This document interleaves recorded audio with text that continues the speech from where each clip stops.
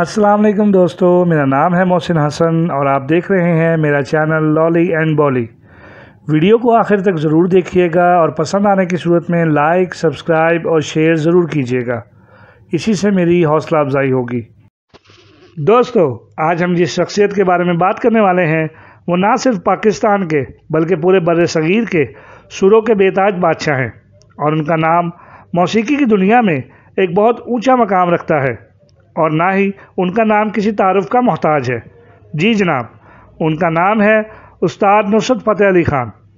उस्ताद नुसरत फ़तेह अली ख़ान 13 अक्टूबर 1948 को फैसलाबाद, पाकिस्तान में एक पंजाबी मुस्लिम फैमिली में पैदा हुए थे। उनके घराने का ताल्लुक जालंधर इंडिया में बस्ती शेख दरवेश से था। उनके वालिद फ़तेह अली ख़ान एक बहुत बड़े कवाल और माहिर मौसीकी थे। उस्ताद नुसरत फ़तेह अली ख़ान अपने बहन भाइयों में पाँचवें नंबर पर थे। उनसे बड़ी, उनकी चार बहनें और उनसे छोटा एक भाई फ़र्रुख फ़तेह अली ख़ान थे। और इसके अलावा राहत फ़तेह अली ख़ान उनके भांजे हैं। उस्ताद नुसरत फ़तेह अली ख़ान के वालिद नहीं चाहते थे कि उस्ताद नुसरत फ़तेह अली ख़ान भी उनकी तरह एक कवाल बने, बल्कि इसके बजाय कोई डॉक्टर या इंजीनियर बने। लेकिन उस्ताद नुसरत फ़तेह अली ख़ान का टैलेंट और दिलचस्पी ने उन्हें इस बात पर कायल किया कि वो इस प्रोफेशन को आगे लेकर चलेंगे। 1971 में उनके अंकल मुबारक अली ख़ान की वफ़ात के बाद उस्ताद नुसरत फ़तेह अली ख़ान अपनी कवाली पार्टी के ऑफिशियल लीडर बन गए थे। और उसी साल उनकी पहली पब्लिक परफॉर्मेंस रेडियो पाकिस्तान पर एक प्रोग्राम जश्न बहारा के नाम से हुई थी। उस्ताद नुसरत फ़तेह अली ख़ान को उर्दू, पंजाबी, फ़ारसी और हिंदी पर अबूर हासिल था और वो इन्हीं ज़ुबानों में अपनी परफॉर्मेंस दिया करते थे। उस्ताद नुसरत फ़तेह अली ख़ान का पाकिस्तान में पहला गाना जो हिट हुआ था, वो था हक अली अली। उस्ताद नुसरत फ़तेह अली ख़ान का ताल्लुक कवाली के उस ख़ानदान से है, जिन्हें कवाली विरासत में मिली है। और ये सिलसिला पीढ़ी दर पीढ़ी तकरीबन 600 साल के अरसे से चला आ रहा है। उस्ताद नुसरत फ़तेह अली ख़ान ने तकरीबन 40 से ज़्यादा ममालिक में परफॉर्म किया था, और उनके चाहने वाले पूरी दुनिया में हैं। उस्ताद नुसरत फ़तेह अली ख़ान ने London Paris, Japan, America, India और कनाडा वगैरह वगैरह में अपने कॉन्सर्ट्स और लाइव परफॉर्मेंसेस की थी। उस्ताद नुसरत फ़तेह अली ख़ान का कैरियर 30 साल, यानी तीन दहाइयों पर मुश्तमिल है। और उस्ताद नुसरत फ़तेह अली ख़ान को तारीख में कवाली के लिहाज से जो अहमियत और रुतबा हासिल है, वो आज तक किसी और को ना मिल सका। इसीलिए उन्हें शहनशाह कवाली भी कहते हैं। उस्ताद नुसरत फ़तेह अली ख़ान ने 1979 में नाहिद नुसरत से शादी की थी और उनसे उनको एक बेटी पैदा हुई, जिसका नाम उन्होंने निदा नुसरत रखा था। 1987 में प्रेसिडेंट ऑफ़ पाकिस्तान जयाउलक ने उस्ताद नुसरत फ़तेह अली ख़ान को पाकिस्तानी म्यूज़िक में उनकी खिदमात की वजह से प्राइड ऑफ़ परफॉर्मेंस से भी नवाजा था। 1995 में उस्ताद नुसरत फ़तेह अली ख़ान को यूनेस्को म्यूज़िक प्राइज से भी नवाजा गया था।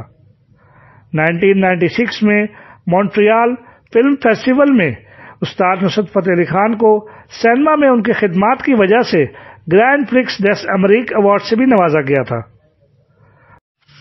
उसी साल फकूका एशियन कल्चर प्राइज में उस्ताद नुसरत फ़तेह अली ख़ान को आर्ट्स एंड कल्चर प्राइज से भी नवाजा गया था। 1998 में उन्हें PTV lifetime achievement award से भी नवाजा गया था। नुसरत फ़तेह अली ख़ान को उस्ताद का खिताब लाहौर में एक फ़ंक्शन में क्लासिकल म्यूज़िक परफॉर्म करने पर मिला जब उनके वालिद की बरसी थी। उनके मरने के बाद 2001 में उस्ताद नुसरत फ़तेह अली ख़ान को Guinness book of world record से भी नवाजा गया, क्योंकि उन्होंने दुनिया में सबसे ज़्यादा कवालियों के एल्बम्स, जो कि 125 से भी ज़्यादा हैं, रिकॉर्ड कराई थी। 2005 में उनके मरने के बाद उन्हें यूके एशियन म्यूज़िक अवार्ड में लेजेंड्स अवार्ड से भी नवाजा गया था। उस्ताद नुसरत फ़तेह अली ख़ान को टोक्यो में सिंगिंग बुद्धा का खिताब मिला। लॉस एंजल्स में द वॉइस ऑफ़ पैराडाइज का खिताब मिला। ट्यूनस में इंसानी आवाज़ का खुलासा का खिताब मिला। लंदन में द स्पिरिट ऑफ़ इस्लाम का खिताब मिला। पेरिस में पेवरोटी ऑफ़ द ईस्ट का खिताब मिला। और लाहौर में शहनशाह कवाली का खिताब भी मिला था।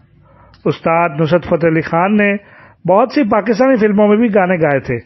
इसके अलावा तीन बॉलीवुड फ़िल्मों के लिए भी गाने गाए थे।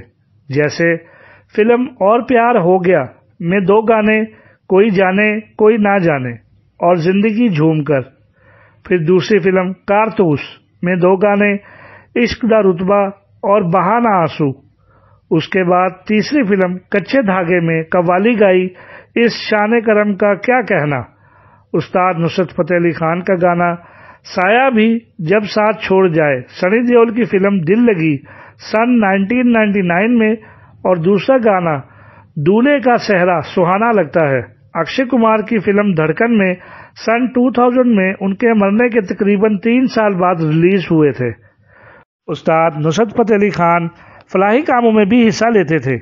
जैसे थर्ड दिसंबर 1992 को इमरान खान के एक चैरिटी अपील कॉन्सर्ट, जो कि Intercontinental London Park Lane hotel में मुनद हुआ था, में मेन परफॉर्मर वही थे, और जिसके ज़रिए Shaukat Khanum cancer memorial hospital and research centre के लिए एहतियात जमा किए जाने थे। उस्ताद नुसरत फ़तेह अली खान के बहुत से गाने, मुख्तलिफ़ एल्बम्स या फ़िल्मों में बतौर सिंगर, कंपोज़र या स्पेशल थैंक्स के तौर पर जो उनके नाम से क्रेडिट किए गए थे उनके तकरीबन पूरी दुनिया में एक करोड़ छियानवे लाख पचास हज़ार यूनिट्स बिके थे, जो कि एक वर्ल्ड रिकॉर्ड है। उस्ताद नुसरत फ़तेह अली खान का वज़न काफ़ी हद तक बढ़ चुका था, जो कि तकरीबन एक सौ सैंतीस किलो या 300 पाउंड्स तक जा पहुँचा था, और वो काफ़ी बीमार भी रहने लगे थे। 16 अगस्त 1997 को वो पाकिस्तान से लंदन, जिगर और गुर्दे के इलाज के लिए रवाना हुए। और उन्हें एयरपोर्ट से सीधा लंदन में क्रॉमवेल हॉस्पिटल ले जाया गया, जहाँ उन्हें अचानक हार्ट अटैक आया और वो चल बसे। और उस वक्त उनकी उम्र सिर्फ़ 48 साल थी। उनकी डेड बॉडी फैसलाबाद लाई गई और उनके नमाज़ जनाजा के बाद उनको झंग रोड के कब्रिस्तान में सुपुर्द खाक कर दिया गया। उनके मरने के बाद उनकी बीवी नाहिद नुसरत कनाडा चली गई और 13 सितंबर 2013 में ओंटारियो मिसिसवागा में उनका भी इंतकाल हो गया था। उस्ताद नुसरत फतेह अली खान के मरने के बाद ए आर रहमान ने एक एल्बम लॉन्च किया, गुरुज ऑफ़ पीस, जिसमें उनकी कवाली अल्लाह भी शामिल थी। यही नहीं, बल्कि 2007 में फ़िल्म गुरु में गाना तेरे बिना ए आर रहमान ने उस्ताद नुसरत फतेह अली खान को डेडिकेट किया था। 13 अक्टूबर 2015 को उस्ताद नुसरत फतेह अली खान की 67th बर्थडे के मौके पर गूगल ने उनका डूडल अपनी वेबसाइट पर लगाकर उनको खराज तहसीन पेश किया था।